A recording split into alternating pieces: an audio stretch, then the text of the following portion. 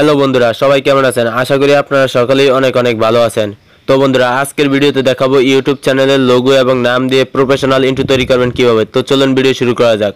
সর্বপ্রথমে কাইনমাস্টার অ্যাপসটির প্রয়োজন হবে। এই অ্যাপসটির লিঙ্ক ভিডিও ডিসক্রিপশন বক্সে দেওয়া আছে। লিঙ্কে ক্লিক করে ইনস্টল করে নেবেন। ইনস্টল করার পর ওপেন করবেন। তো ওপেন করার পরে এরকম একটা ইন্টারফেস শো করবে। এখান থেকে প্লাস আইকনে ক্লিক করবেন। তারপর প্রথমে যে সাইজটি আছে, ষোলো নয়, এই সাইজটি সিলেক্ট করবেন। তারপর এখান থেকে মিডিয়াতে ক্লিক করবেন।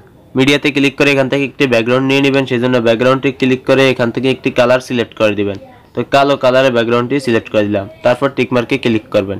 তারপর ব্যাকগ্রাউন্ডের উপর ক্লিক করে ব্যাকগ্রাউন্ডটিকে টেনে লম্বা করে দিবেন বারো সেকেন্ড পর্যন্ত। তারপর শুরুর দিকে চলে আসবেন, তারপর টিকমার্কে ক্লিক করে দিবেন। তারপর লেয়ারে ক্লিক করবেন লেয়ারে ক্লিক করে মিডিয়াতে ক্লিক করবেন, তারপর এখান থেকে আপনার চ্যানেলের লোগোটি দিয়ে দিবেন। তারপর লোগোটিকে টেনে লম্বা করে দিবেন ব্যাকগ্রাউন্ডটি যতটুকু টেনেছেন। তারপর লোগোটিকে এভাবে একটু ছোট করে দিবেন। তারপর শুরুর দিকে চলে আসবেন, তারপর টিকমার্কে ক্লিক করে দিবেন।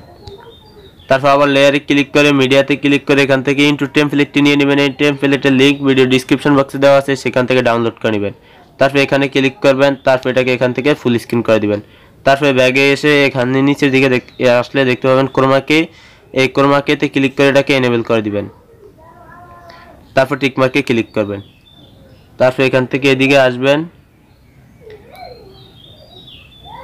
এদিক, এদিকটাতে এসে আপনার চ্যানেলের নামটি দিয়ে দিবেন সেই জন্য লেয়ারে ক্লিক করে লেয়ারে ক্লিক করবেন, তারপর টেক্সে ক্লিক করবেন। টেক্সে ক্লিক করে এখান থেকে আপনার চ্যানেলের নামটি দিয়ে দিবেন। তারপর ওকেতে ক্লিক করে দিবেন। তারপর নামটি এখানে চলে আসবে, নামটিকে এদিক থেকে এখানে এনে বসিয়ে দিবেন। তারপর এটা একটা ফন্ট দিয়ে দিবেন সেই জন্য এখান থেকে ডাবল এতে ক্লিক করবেন, তারপর এখান থেকে একটি ফন্ট দিয়ে দিবেন। তারপর টিকমার্কে ক্লিক করবেন। তারপর এটা একটা কালার দিয়ে দিবেন, সেই জন্য এখানে এসে এখান থেকে একটি কালার সিলেক্ট করে দিবেন। তারপর টিকমার্কে ক্লিক করবেন। তারপর একটা অ্যানিমেশন দিয়ে দিবেন, সেই জন্য ইন অ্যানিমেশনে এসে এখান থেকে একটা অ্যানিমেশন দিয়ে দিবেন। তারপর এটা, এটাকে ওয়ান পয়েন্ট ফাইভ করে দিবেন। তারপর টিকমার্কে ক্লিক করবেন। তারপর এখান থেকে বাহিরের যে অংশটুকু আছে, এটুকুকে কেটে দিবেন। এভাবে ক্লিক করে এইটুকুতে কেটে দিবেন। তারপর টিকমার্কে ক্লিক করে দিবেন। তারপরে সর্বশেষ যেই সেটিংসটি করতে হবে, এখান থেকে এই সেটিংসে ক্লিক করবেন, তারপর ভিডিওতে ক্লিক করবেন। ভিডিওতে ক্লিক করে এখান থেকে ভিডিও ফেট আউটটাকে অন করে দিবেন, তারপর এটাকে একটু কমিয়ে দিবেন। এটাকে ওয়ান ওয়ান করে দিবেন। তারপর টিকমার্কে ক্লিক করে দিবেন। তো ইন্টুটি তৈরি হয়ে গেছে, এখন এটাকে চালিয়ে দেখাবো।